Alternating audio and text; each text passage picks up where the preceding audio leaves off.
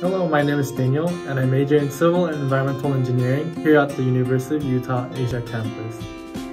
A degree in Civil and Environmental Engineering prepares you for careers in the field of construction management, groundwater contamination, transportation, and monitoring quality of air, water, and land. There are many disciplines within this major, which includes environmental, geotechnical, construction materials, structural, transportation, and water resources.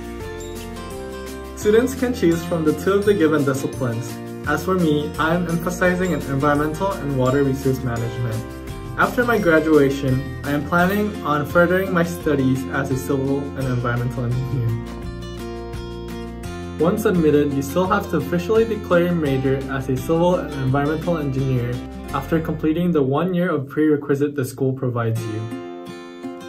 Classes such as math and science are more of lecture-based whereas classes like computer-aided design or computer tools have a more interactive learning environment.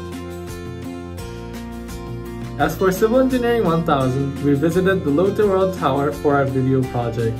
It was a great experience to look at the structure in an engineering perspective.